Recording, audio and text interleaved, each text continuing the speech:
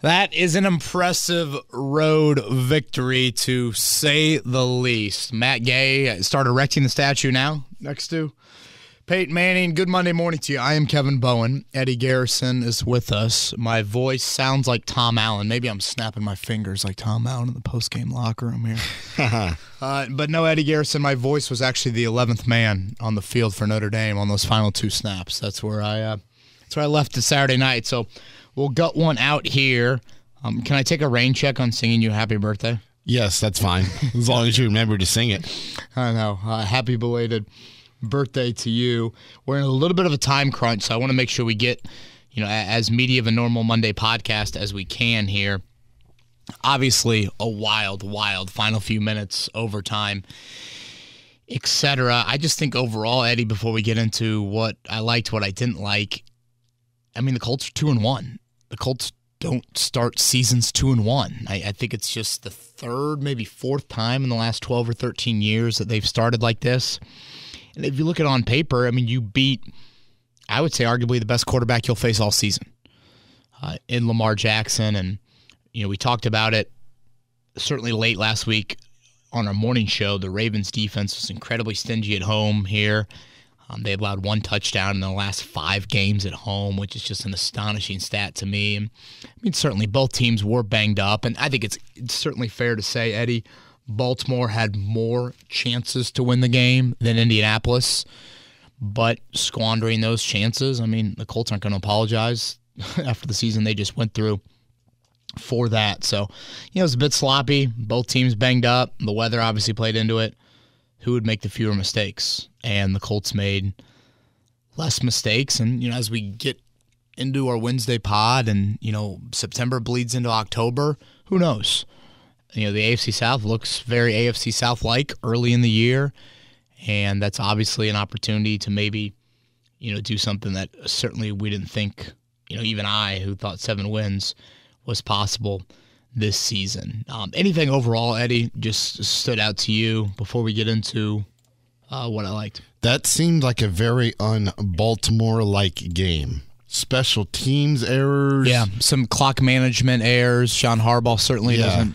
Physical, usually... mental errors. I mean, they just didn't seem sharp like we've normally seen out of a Harbaugh led Baltimore Ravens squad. Yeah, I think it's spot on. The dome team, Eddie, beat the outdoor team. The outdoor team that had been outdoors for the first two weeks of the season, the dome team that had yet to been outdoors. You know, when you think about all that, I mean, Shane Steichen's in-game stuff. We'll, we'll, we'll, get to a Shane Steichen attribute that I think stood out from really over the weekend, uh, but obviously had a big role in in Sunday. So um, again, two and one. It, it seems like with how the Colts have played over these twelve quarters, they deserve to be two and one. Like I know that Baltimore easily could have gone the other way.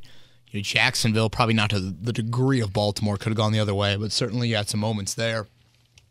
It just feels like though this team does deserve to be two and one here after the start, and now you know we'll look closer at this on Wednesday, but. I mean, Eddie, there's probably a lot of people that would look at Sunday and think that that's a schedule win for the Colts mean, the Rams are in Cincinnati tonight. Then they've got to fly home.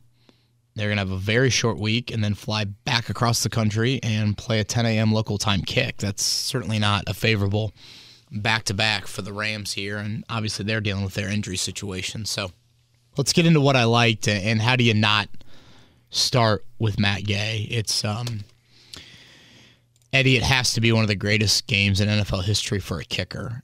And I know the stat indicates that of you know no one's made four 50 yard plus field goals in a game. But let's paint more of the picture than that. All those kicks came outdoors in less than ideal weather.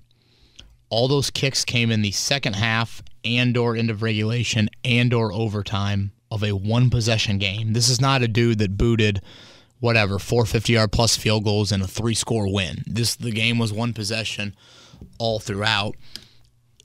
Every single kick, it seemed like, would have been good in those Arena Football League uprights. I mean, like just right down the middle every single time. And then lastly, and Matt Gay would probably need some truth serum to answer this. Don't you think that one means more? Knowing it's Justin Tucker on the other sideline. I mean, kickers are in their own little world. You know, they chat before the game, chat after the game. I, I would think that would mean more.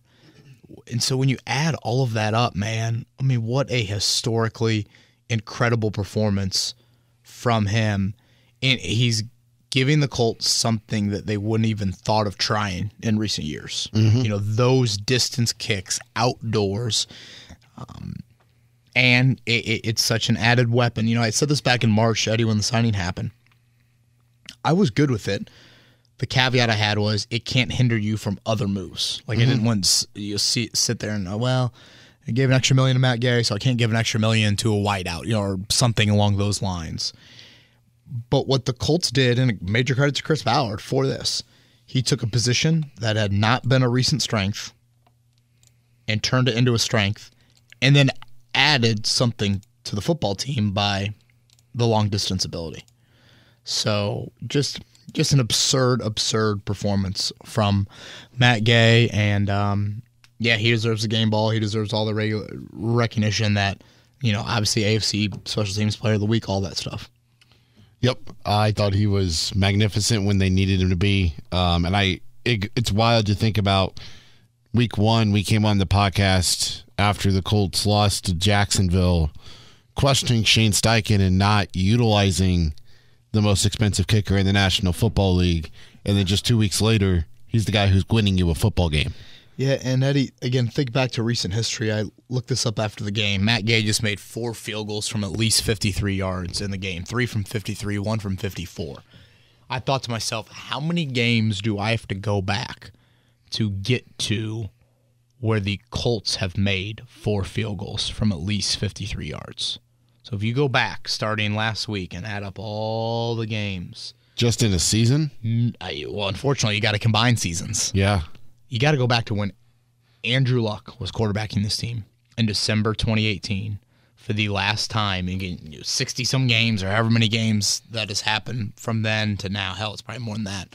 That you go back to to find, you know, I think Vinatieri had one in 2019. I think McLaughlin might have had, you know, one or two. Like, I mean, this just, uh, it happens maybe once in a season for the Colts, and it happened four times yesterday. So, um, absolutely outstanding by Matt Gay. Uh, the second thing you liked about the game, and I think this is where the game really changed, was Baltimore's second possession. First drive, they go down 12 plays, 80 yards, take six and a half, and they pretty much did anything they wanted, converted a couple third downs. Uh, the Colts have to punt on their following drive, and Baltimore is about to threaten to score again. And then on the third play, it's a screen pass to Kenyon Drake. He's working his way down the Colts side of the field, and Juju Brents comes up with a forced fumble on the tackle. Colts recover. Next thing you know, I think that is where the game really changed because that's when the wheels started to fall off in the first half for Baltimore. Yeah, I mean, I, I could not agree more. We had Juju Brents on our morning show earlier today. We'll play that coming up on the Wednesday pod here this week for you guys if you missed it. I mean, Eddie, I think our listeners know I'm such a big believer in game flow, how momentum can change, and I don't want to lose sight of this play. You know, the other kind of sneaky play was late first half, Eddie, when Quenton Nelson and Michael Pittman kept that fumble alive a little bit. Nelson certainly kept it alive mm-hmm. when Minshew got sacked and stripped by Hamilton, and then Pittman uh, pounced on it. That was three points at least, right there at the end of the first half. But I mean, you just laid it out you got sliced and diced on that opening drive. Your offense quickly goes. Was it three and out to start the game? It seemed like a very quick, quick drive. Uh, yeah, I think you got behind the chains and and and had to punt there, mm-hmm. and then got a first down with Zack Moss on the big oh, run the to first start. play the game, and then yeah, and, yeah, and then sold out. Um, and then you know, here's Kenyon Drake in the open field, and I'm like, oh my gosh, is this really happening? I never saw him do that at Colts training camp and out of nowhere comes Brents to have the wherewithal to go for the strip and then to get on the ball.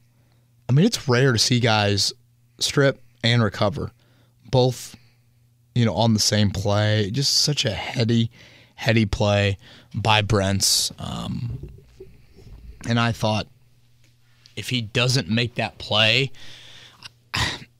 I don't know, Eddie, 10, 14 down at that point, then you're putting your O line in an even worse position. If you know you've got any other empty drives and Baltimore's offense feels like it's really clicking, I mean, that game could have got away from you. Yeah. frankly. And I know that might be a little bit of, yeah, Kevin, you have no idea what you're talking about, but. I mean, those are just those plays early on in the game, especially away from home, where you need something. You need some sort of injection of life, some sort of hope.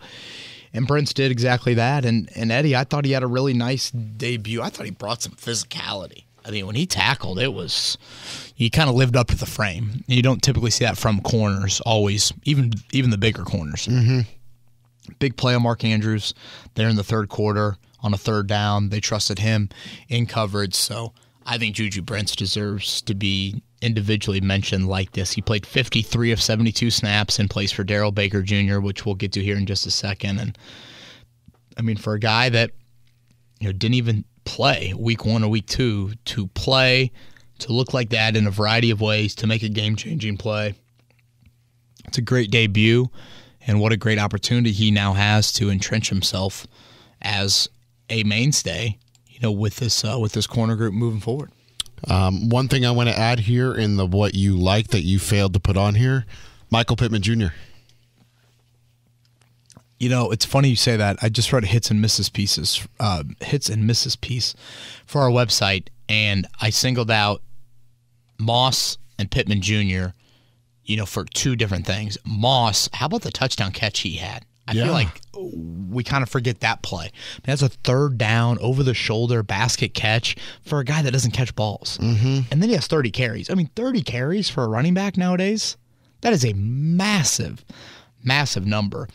Um, so yeah, Moss there for the workload, and then obviously Pittman's catch. I mean, dude, I mean, dude's pulling his helmet, gets knocked off. I think it's a bigger catch than the San Francisco game. San Francisco kind of iced it at that point of overtime. You still needed to go win the game at that point. Um, yeah, extraordinary play by Pittman, and you know, typical him. He just he does all the dirty work. He loves those elements. Um, that's why I've always you know been a big fan of him and a b- big proponent of Not a pretty boy USC grad. retaining him. Yeah, uh, thank you for uh, thank you for saving my voice from from saying that there. But uh, yeah, it, it, exactly that. I know it, it was not a good day for the offense. Obviously, the passing offense in particular was really stymied. But I thought a nice job by those two individuals offensively. And then uh, limiting the mistakes. That's the final part of this that you liked about the game, and I will agree with you. They had six turn, uh, six penalties, no turnovers, but I didn't feel like any of those six penalties were back-breaking penalties, whether it was a defensive holding, an illegal contact defensively, or a pass interference. Um, and the same like on the offensive side, I can't remember like any big holding penalties that negated any big plays. Yeah, I mean, the, yeah, the Braden Smith false start, but I, yeah, I don't remember. Obviously, got away with the EJ Speed one there late, but um, What? I, I just thought overall Oh, when the backup quarterback gets in there, Eddie, what does that usually indicate? Go find the defense that plays that backup quarterback in fantasy and start that defense. Mm-hmm. And you didn't turn it over. Yes, you had the safety. And I blame McKenzie so much for putting the offense in that situation. Yes. I mean, honestly, Eddie, indirectly, him stepping out of the end zone was the best thing that could happen in that moment. If he doesn't step out of the end zone, and let's just say the ball, you know, he throws it incomplete on that third and 11, the two minute warning probably happens right there. Then you're punting from your own end zone. with one timeout. And Rigoberto Sanchez doesn't boom a 62 yarder like he did on the onside kick punt. And obviously, with him stepping out of the end zone, the clock was 203, I believe. He booms the punt. Zay Flowers, and this is where John Harbaugh made a huge mistake. They forgot the clock had bumped back up above two minutes. Zay Flowers calls for a fair catch, when in reality, he should just run around for four seconds and then gone, which he easily could have done, and then gone down. I mean that. I mean that saved forty seconds, and then Baltimore gets the penalty on that drive, and boom! Now the Colts get the clock back or get the ball back, and they have plenty of time to get into Matt Gay field goal range. So that that sequence was huge. But again, for them, you know, when you think about weather plays, ball security, errant snaps, I had a friend tell me, by the way, that um, Minshew should have just took the snap, set the ball on the ground, and let Baltimore recover it in the end zone, go up eight. Colts get the ball back with the one timeout, two minute warning, and then have to go down and score a touchdown and go for two. Yeah, my only thought there is I think Baltimore might have gone for two Yeah. try and win the game. You know, try and get it to nine. I think you're. You, I think you're starting to see that a little bit more with a dual threat guy like Oh yeah. Like Lamar. Yeah, I, that that that thought actually did run through my head there. Um, gosh, what a crazy sequence. the end of the game is just wild. Um, but I thought weather plays you out weathered them. Like you, you, you, you know, Weathered the storm better. Yeah. yeah, you didn't have, and I, I know it wasn't awful, awful weather, but still, um, I thought you had less than than them there. Um, let's save Eddie the accountability aspect to Steichen for Wednesday. You know, that's something that I also want to mention. I, I mentioned that in in what I wrote right after the game. But he sent a pretty clear message to this locker room by what he's done with Deon Jackson and now what he did with Darrell Baker Jr. And I don't want to lose sight of that. Yeah. And it's September, and those are two former undrafted guys. It's not like you're benching, you know, Shaq Leonard or Braden Smith or whatever, somebody of note.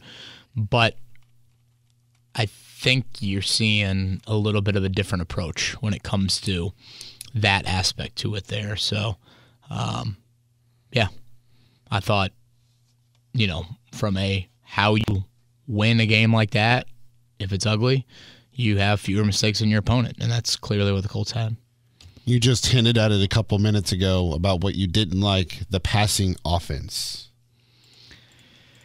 Yeah, I mean, when you boil down the numbers, yards per attempt, yards per drop back, just awful. Um, really, really poor. And again, it's not like I expected a ton, but you would like a little bit more from an in rhythm standpoint. The aspect of the passing offense, Eddie, I thought the biggest issue was was just how many free rushers and how many times Kyle Hamilton got clean shots on Gardner Minshew. I mean, Eddie Gardner Minshew's lucky he didn't get knocked out of that game. And I know he got um like nicked up a little bit because he got hit once and he Right. was pointing to his chest. Right in the end of a drive, Yeah. if I remember correctly. I Yeah. mean, I- I believe that was in the fourth quarter too, maybe like- third. you know, misidentification. Um, I mean, Baltimore's going to disguise, and there's going to be moments where free rushers happen. And when that happens, Eddie, you got to identify, hot read, get rid of it, or just be aware. And that last part to me was shocking. Like, I didn't feel like Minshew was aware that Hamilton was free several of those of the three sacks. Like, I mean, all of a sudden, I'm like, oh yeah, he's got to see that, and he'll just throw it away. I'm like, oh wait, he's not throwing away. Oh damn, he just got laid out. I was talking to Bill Brooks about that during the game yesterday, and he said now Minshew in the back, in this case it was Moss, just have to like do a better job at identifying. But at the same time, they were also he was also wondering, you know, if he moves Moss over to his right hip, where Hamilton's lined over the on the right side of the field, if they bring the safety from the other side, because Baltimore does the exotic blitzing where they show six and only bring four and so you don't know where that fourth one's coming from. And if they moved Zack Moss to the other side, he thinks that the other safety from the other side was going to blitz instead, or the slot corner. Interesting. Yeah. And, you know, again, Baltimore having free rushers and you not having maybe enough hats to pick up that, that's going to happen. But when it does happen, it's the old Peyton Manning adage of when you're in a bad play, don't make it worse. You know, make sure the bad play is just a bad play. And, yeah, I mean, he held on to it a couple times, but as we mentioned earlier, if Nelson doesn't make the big effort play and Pittman falls on it, that could be the difference in the game. So I just thought really poor from Minshew in that area. Minshew and or communication up front. Um, but yeah, passing offense in general, you just need more of kind of a quiet day for the tight ends. You know, Pierce had the one play that late, you know, it was a great play by the DB, but you know, you would like for Pierce to haul that in. I did think Josh Downs just steady, typical steady Eddie out of Josh Downs, pretty pretty methodical in making sure you're kind of staying ahead of the chains and you know, pretty much of- once you got into third and long, it was ugly. How many of his catches went for a first down? It seemed like everyone. Yeah, what do you have? Eight or nine for the game? I Yeah. mean, certainly I think he had eight catches on 12 targets. Yeah, and if nothing else, Eddie, I thought what he was doing, you know, eight for 57, so it wasn't a huge average. 7.1 was the average, as long as it was 12. I just thought he allowed you to get into manageable situations. That too. Like yeah. just, and that is so important when you're playing that defense. I mean, if you look at it early on, I didn't chart it for the whole game, but early on, it was literally like, if it's third and long, you're screwed. Like they weren't getting them; they were getting sacked. If it was third and short, they were converting. I mean, it, it had that feel for quite a while, which you know I know is probably the normal trend to it. Ready for Twitter questions? Yes, let's hop in. Scott wants to know if it's wrong to love Shane Steichen already. Is this where I insert my? Who am I to tell you who to love? Um, no, yeah, I, I think it's fine to to love him. I mean, I, I I'm a nerd sucker for the game management stuff. I love the timeout games that he's played. I think they actually are meaningful. I mean, again, my voice would indicate Notre Dame, Ohio State mattered. I would think timeouts mattered in that moment. Yeah. Um, I would say Colts Personnel grouping mattered for sure. very. Uh, Colts and Ravens, I mean, it, it mattered as well. I mean, timeouts were huge. And even if, like, the, that, that happens in the first half and you're not able to, you know, maybe see the ramifications of it, uh, if you continue to do that, what you're doing now is making the team prepare more, making the opponent think a little bit more. And the more an opponent thinks, I think the more likely they are to make a mental mistake or they're not, you know, playing from from advantage like that, which I think is huge. So, you know, again, I I was a fan of the hire. I I, I loved the quarterback background to it. Um, I you know I felt like it was more Sirianni than Reich in terms of his emotion and that being able to resonate. But the question I did have was just in-game management. You know, would you? Is there enough on your plate? Is there too much on your plate to where you can't make those sorts of little, you know, kind of detail type plays in there? And the guy that you know why have the Ravens, Steelers, and Patriots been so damn consistent for the last decade plus? They have a CEO of a head coach. I mean, yeah, I mean, you got you got a manager that on game day and throughout the week can you know figure out what needs attention and and, and be there. Well, on Sunday, you out managed the CEO, and brilliant. I mean, by Steichen and not brilliant by John Harbaugh.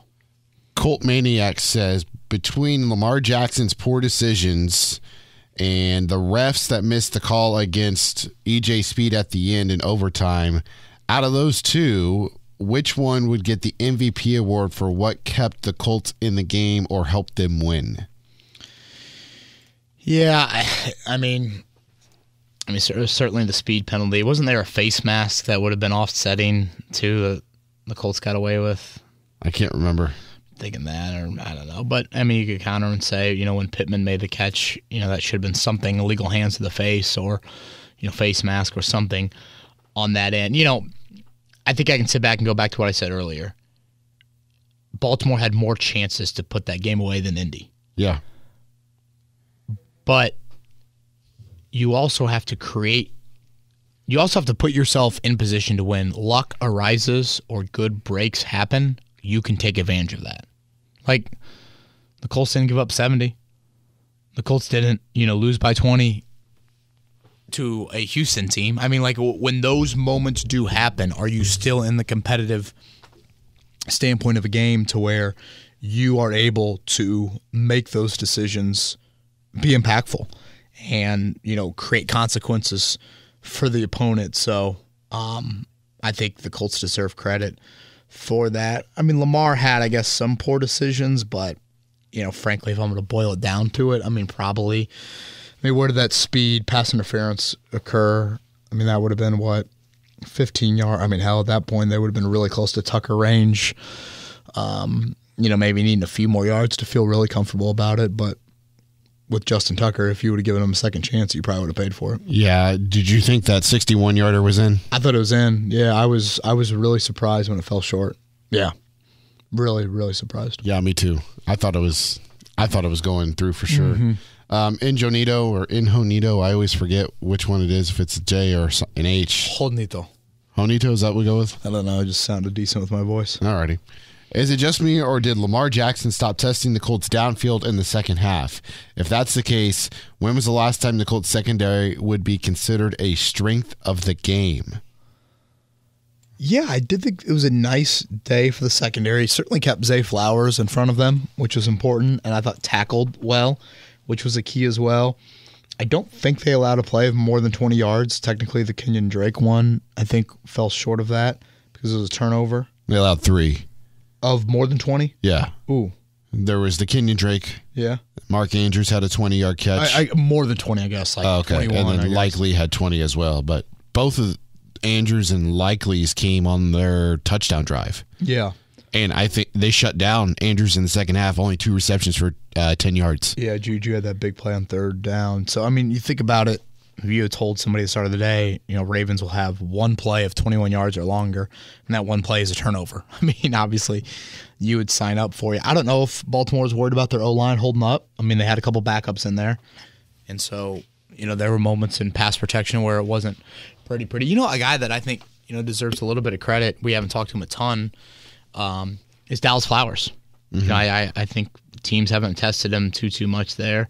Um, yeah, I, I I feel like he has been pretty solid here early on in the season. Um, but yeah, I think it was more of just a worried about your defensive front, worried about your offensive line, maybe holding up against the Colts Colts defensive front. How about the start to the season for Kwity Paye as well? Three consecutive games with the sack. Yeah, and then you know Ebukam on the other side taking advantage of yes. you know the favorable matchups he's had with the backup in each of those three games. So again, for a third straight week, man, your defensive front has had an on vantage or an on paper advantage and is big time uh, taking advantage of that. Jay, what did Gardner Minshew do to win the game that this game that Anthony Richardson can't do? I have friends saying start Minshew because he's a winner. I think we would have won this game easily with Richardson at quarterback, considering how well the defense played and the obvious record-setting kick game. I think Colts fans are forgetting this season is about winning. It's about evaluating Anthony Richardson and the future. What are your thoughts? Love the podcast and thank you.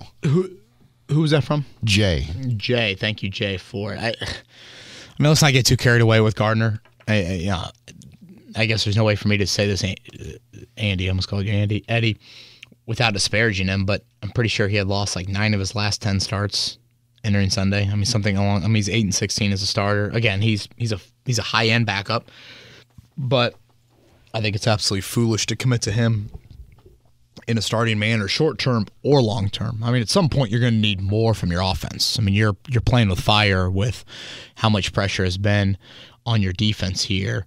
Um, I mean, he didn't turn it over. If you want to boil it down to one thing he did that you know maybe Richardson might struggle with, you know, we obviously haven't seen Richardson play, you know, big time you know games yet, or at least 60 minutes of games outside of the opener. So I mean, your passing offense was non-existent you had to rely so much. I mean, Zack Moss carried it 30 times for a reason.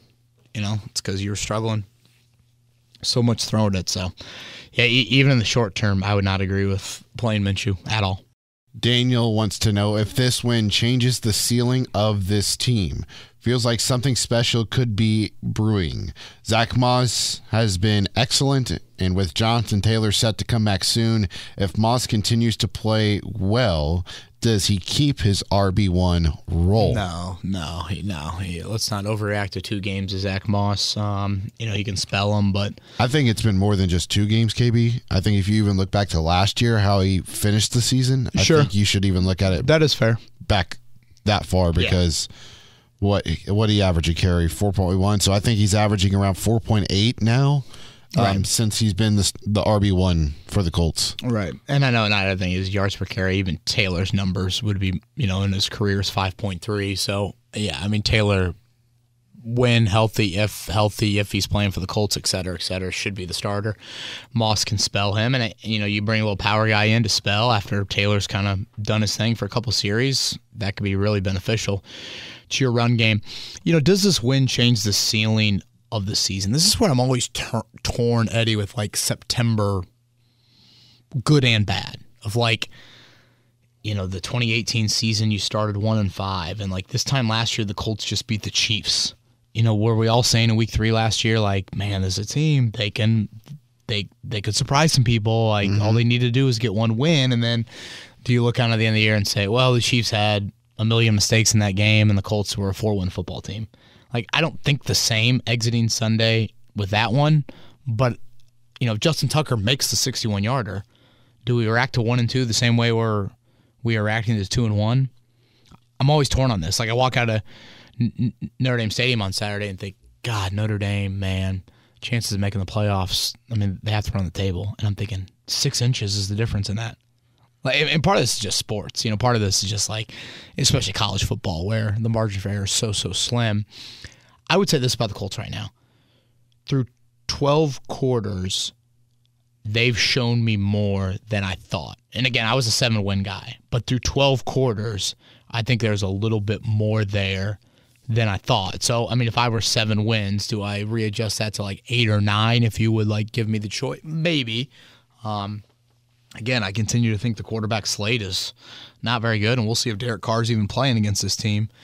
You know, in a in a couple weeks after his injury, and you know, I brought up the Rams earlier. That's kind of a weird scheduling quirk with um, how that game looks on Sunday. and You're gonna ha- have a couple big divisional games. I mean, you know, going down and beating Jacksonville. You don't want to call it a must, but obviously it'll be difficult no matter what happens to come back from, you know, beating Jacksonville, potentially being swept by Jacksonville. Never know. I mean, they just lost to Houston Sure. Um, at home and got their butts kicked. Right. And, and and again, like that's what we all react to. I mean, Trevor Lawrence in week one, it was like, oh my gosh, he looked like a top five quarterback. And now it's like, oh, it's the Jacksonville we saw for, you know, the first two months of last season before they turned it around there late in the year. So I think again, through twelve quarters, there's reasons that this season could be better than I think a lot of people thought. I'm still like a little bit like I'm not ready to go just there yet. Um, because I mean, yes, the Colts have been banged up, but I think you could make the argument that their opponents have had probably bigger injury situations. Certainly, last two games. Um, I mean, you faced a backup left tackle each of the first three games. I mean, that is a huge issue for Colts opponents. I mean, Baltimore. I mean, Eddie, they knew all seven of their inactives on Friday. I mean, when does that ever happen? And not to mention they had already lost J.K. Dobbins, and then they lost Gus Edwards during the game, and David Ojabo during the game, and the Colts, you know, from a health standpoint, you know, they stayed pretty darn healthy. So, um, again, I think there are reasons to be optimistic and think, boy, this is a start to the year that's better than it has been, which is undoubtedly true. Um, and the AFC South is such a beautiful, beautiful thing, but I don't know if I'm going to say the ceiling now is all of a sudden like nine or 10. Again, I thought seven. Maybe I go a step higher, but I don't know if I'm ready to say that just just yet. To me, when I'm comparing last year to this year, we talk about turnovers. And I think a part of the game that we haven't or don't focus on enough time of possession. That because the Colts defense is on the field less right now than it was last year.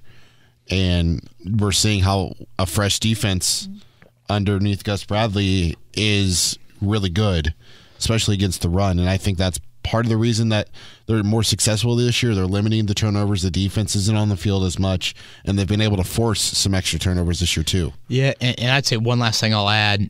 You know, we still have yet to really see Anthony Richardson. I mean, he's played five quarters, so like, Yeah. and and you can say that good, or you can say that bad. I mean, how does he react to like his first kind of injury-ish situation?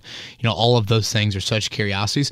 And the beauty of the NFL season is it can be so week to week, and it's also 17 of them. So you know, what barely over a third of the way, or a sixth of the way, excuse me, through the season.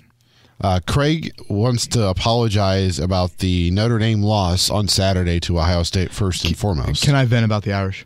Go for it. It's the worst coaching decision I have ever seen in a game. Um, I don't understand. After a timeout, ten guys on the field. Then after Ohio State Not- subs Not once, twice. twice. Then Ohio State subs, so you can sub. We saw that yesterday. The subbing, you know, fiasco between the Colts and Ravens. And Marcus Freeman knew there were ten out there. You're telling me you'd rather have ten defending a yard than eleven defending a yard and a half? Take the penalty. Tell one of your corners to run off sides. Run on the field for all I care. Get unsportsmanlike. Half the distance to the goal. Do whatever you need to. They were It is- terrific is the stopping the dumbest. It is the. I love Marcus Freeman. I think he's done a lot of good for the program. I'm excited about the future.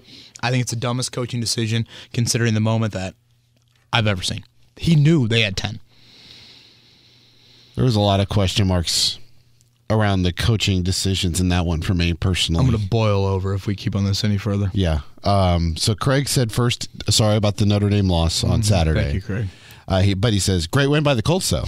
Uh, the defense really got to Lamar Jackson. However, what's up with all the mental mistakes? Braden Smith was awful with the false start penalties. Isaiah McKenzie should no longer return punts if he can't fair catch the ball. And while Gardner Minshew is amazingly tough, he had some critical mental errors, stepping out of bounds, taking three sacks when he could have thrown the ball away. Their mental errors almost cost them the game. By the way, Matt Gay is worth every freaking penny. It shows what a quality kicker can mean when most games are decided by less than seven points. Yeah, I definitely agree with that. You know, he lists out all the mental mistakes. Again, Minshew's the one that I've kind of led to of just like, man, I mean, that one, like, just feeling that, having better pocket awareness. I mean, those elements on the road, you know, you're going to have some mental mistakes. So, you know, I'm not going to act like it should be some clean, clean sheet. But again, Minshew at 24 starts. McKenzie, a six or seven year vet. And I know he said after the game, you know, the ball was kind of wobbling and he was uncertain about fielding it there. You know, sometimes you just got to step up and try and catch it. I mean, that, that, I mean, that could have sealed the game. Arguably should have sealed the game. 13 yard mistake, put your offense in a horrific position. Just brutal. Um, we'll skip over C. Daly and Trevor's because Trevor's we kind of answered a little bit earlier regarding Kyle Hamilton and just a little bit more with Braden Smith just now. Uh, Daly C. Daly's will pertain to Wednesday's podcast about cool. uh, Shane Steichen and, and accountability. Um, two questions left. Eddie, what do you think is better from Anthony Richardson's development long term? Adding an elite playmaker with a high draft pick or pushing for a playoff berth in year one? Yeah, Eddie, I think this will be a popular topic this week and moving forward. I, I'm going to stand by finding the playmaker moving forward. You know, when you use the phrase pushing for a playoff berth, so that means you don't get in, right?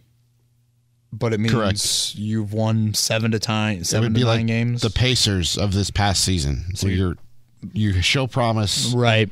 You're but, right there. You get, then all of a sudden you start to get injuries pile up a little bit, and next thing you know, you realize, hey, maybe it's not the right time for us to push. But I would guess you're drafting a lot later than the Pacers. You know, just did. Pacers drafted what Walker at seven overall.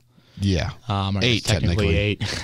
um, you'd be drafting a little bit more middle of round one. I lost money on that, and it irks me. that is brutal. You know, Eddie, I think in the immediate aftermath of a win like yesterday, I mean, the Colts don't win, haven't won back to back road games very often, let alone against an MVP style quarterback in Lamar Jackson. So I understand totally all the celebration, all the fandom, all of that. Um, I guess I'm probably providing a little bit more of like, okay, if you look down the road two to three years, you know, seven and nine versus, or whatever, let's say eight and nine versus five and 12 this season those three wins, those create three much better Monday mornings throughout the fall. But what does eight to nine positions do each round in a draft to you? Obviously, it's not going to be the end all be all. There's plenty of picks you can point to that were taken, you know, later in a round, and those guys work out better than guys drafted above them. But, you know, are you missing out on, on an opportunity to get that bigger fish? Whether it is Marvin Harrison Jr. or whoever that is. Because again, I look at it from a how do you create a window of six, eight to 10 years, not a window of what gives you this kind of instant gratification right here, right now. Now, certainly, if you're pushing for a playoff berth, that obviously would mean Anthony Richardson's playing pretty good football. Mm-hmm. So that would be very, very encouraging.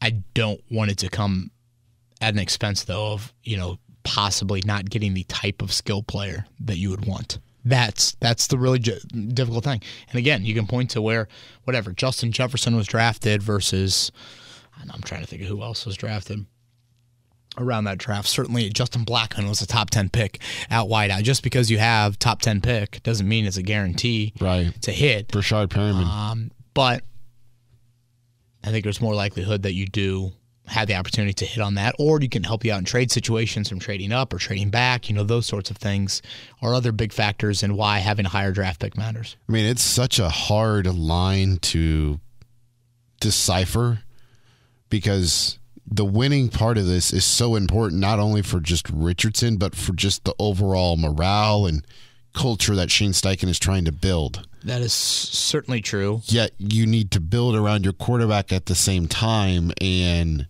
wide receivers are one of the more coveted, if not the most coveted position outside of quarterback offensively. And you've got some freak athletes coming out of this draft that'll be in the top half. And Marvin Harrison Jr. and Emeka Egbuka, both out of Ohio State. So I mean, it's such a hard thing to grasp if you're Yeah. Shane Steichen. Yeah, and, and it's, it's difficult to even answer. I mean, I'm, you know, I think I said at the start of the year, the most important thing is Richardson's development and finding that major piece for him moving forward. Now, again, the major piece doesn't have to come at four overall or, Right. you know, wherever. Justin Jefferson was drafted where. Like, you can obviously find guys at different points, um, but I do think the the chances are higher. You know, if you do get that better pick, and again, it helps you out in future rounds. You know, moving and wheeling and dealing, those sorts of things. But at the same time, for a new head coach, to your point, Eddie, and you're trying to create a new culture, you, you don't want losing to become the norm. You don't want that to be an accepted thing. And that's what I'm curious about on Sunday. And, and let's actually just end there, if you don't mind, Eddie. We can, you know, we can save the other questions I do have one more thing for you. for Wednesday. But what does Sunday do for you moving forward? Just like, even though you caught some breaks, you still have a winning feeling for six days. And the next time you get in a fourth quarter moment, do you look back on Baltimore and do you say, hey, we won there? Like, w- we made some plays late. This is a really bad fourth quarter team last year. It's a really bad fourth quarter team in the first two weeks of the season. Does what you did on Sunday, does that lead to a little bit of like, hey, we can do this now. We're under new leadership. That that's a question that I have exiting Sunday. What type of guy were you in a group project? Were you the one that sat back and took the A, or were you one of the vocal leaders in, uh, or did you just do your I- job? Yeah, I'd say maybe a little bit more than just doing my job. I mean, if we had some slackers, you try to make up for that. But at the same time, you got to know your role. If you're not the smartest in the group, why would you try and go above and beyond? So uh, what you're saying is you, you were more uh, Drew Ogletree than Mo Alie-Cox. Ah, sure, sure, sure, sure. You know, Mo plays the least amount of snaps out of the Colts tight ends, and he tries to put us on blast, KB.